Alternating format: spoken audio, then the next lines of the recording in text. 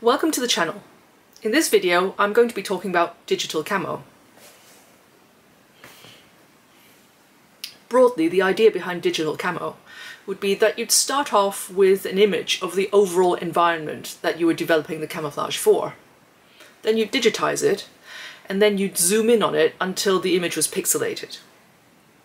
The advantage with this image that was pixelated was that the colors that were present in the overall image were still present in the digital image, so there was no need to have to manipulate the colorations. Equally, overlay patterns, so for example if you had leaves that were layering on top of each other and creating shadow effects, these would also be present in the pixelated image. You would recreate the broad environment, but you would not be recreating the shapes within the broad environment. So for instance, if your broad environment picture included actual images of trees interspersed at different intervals between gorse or greenery, then the pixelated image would reflect the same shades of color. It was a neat way of deriving a camouflage being able to manipulate it so that the uh, environment you work in was optimized, say, for different ranges. So if you wanted to have a camouflage that worked best at 500 to 1000 yards rather than 200 to 500 yards,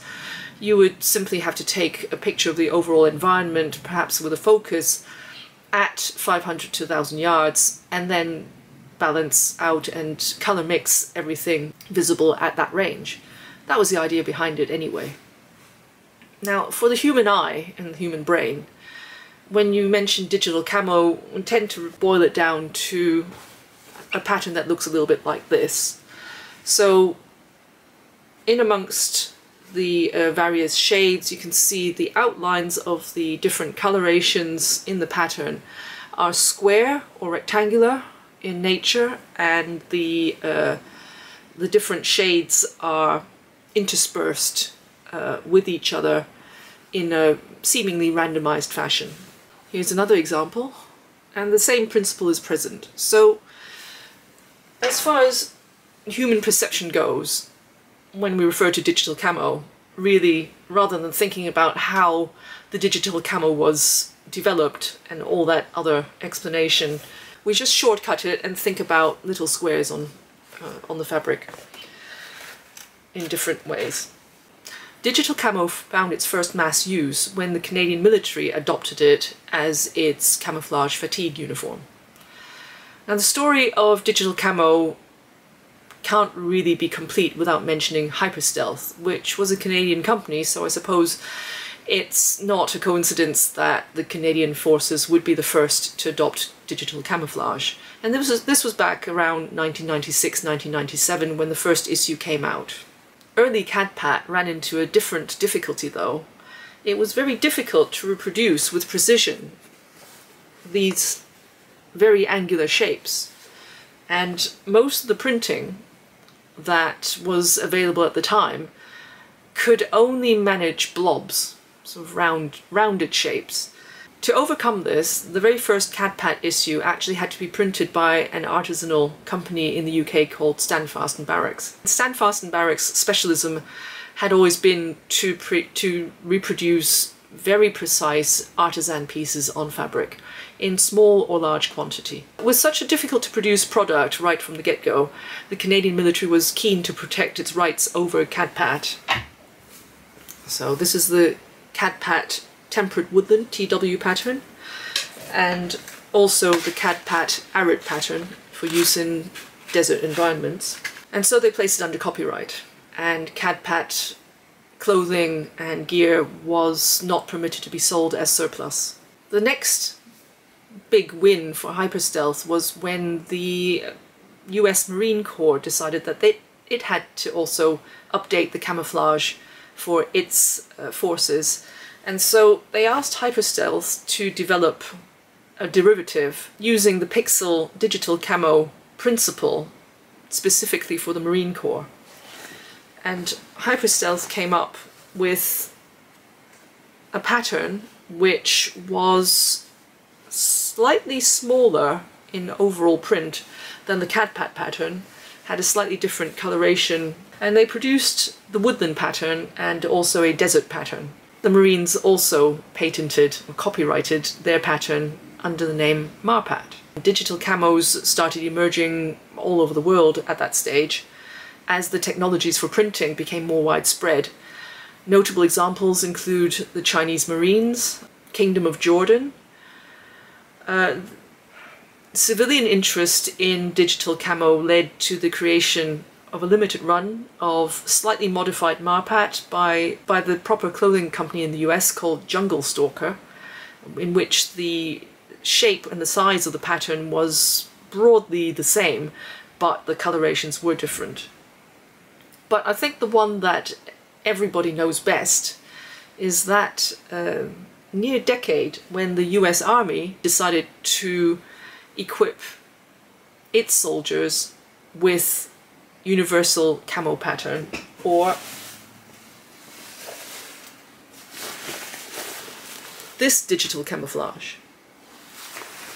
Now the reasoning behind this very non-green camouflage pattern had been that the US military was engaged very much in the Middle East and Central Asia in quasi-urban environments and so to have a pattern that would be able to work in both arid environments together with the greys present in semi-urban environments would be an effective camouflage.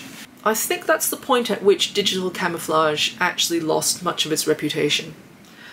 Hyperstealth, to its credit, was trying to steer the US Army towards its own creation, US Forces Camo, uh, with a number four in the title. And the uh, images that they still have available indicate that it probably had a much more advantageous coloration than the universal camo pattern, which I think has become widely derided as one of the mistakes of digital camouflage. It's clear that the colors chosen for the universal camo pattern aren't very universal, and so it was no surprise that some time later, after the US Army had equipped all of their soldiers with universal camo pattern, they decided to move on to something else. Other countries started producing their own, so for example, the Russians have their EMR Flora, which is a very uh, green, green, khaki and brown pattern. There are patterns in China, uh, in India, all over the world now that have very little to do with hyperstealth and their original um, development. In a sense, now that digital cam camo has proliferated throughout the world and is no longer seen as exclusive in the way it was back in the mid 90s, I think we're thoroughly into the era of post digital camo development now. I would lump in uh, Pencott Green Zone together with post digital camo, although much of the Pencott pattern is very much based on the digital camo. There is a lot more rounding of the hard edges. Uh, the pixelation is one effect that is used, but it is also used in conjunction with shading effects, overlaying effects, and also slight changes in pattern. It's the same with uh, later patterns like the phantom leaf, so you can see that the precision printing is present in, in this dappling effect here, uh, but it is also overlaid with colors, with broader swooshes, uh, dots, micro dots, and so I think that's probably the direction that camouflage is moving in now. Uh, I think the US Marines are still using Marpat, the Canadians are still using CADPAT, but by and large, most of the other militaries in the Western world have moved on towards a sort of blobbier OCP or multicam derived sort of camouflage, much more back to the previous analog principle. All in all, I would say digital camouflage certainly drove a revolution in the way patterns were printed onto uh, fabrics and certainly drove a new understanding, I think, of how patterns could be derived, not just from trying to mimic shapes in nature, but from manipulating color patterns and the frequency in which the colors appear. And I think the idea that you would develop camouflage patterns to work at different ranges also comes uh, very much from the development of digital camouflage. So I think we have a lot to thank digital camouflage for, even if it is no longer fashionable um, item it was back in the mid 90s and early 2000s. So I hope you enjoyed this video. I hope you found it interesting, and we'll see you next time. Bye bye.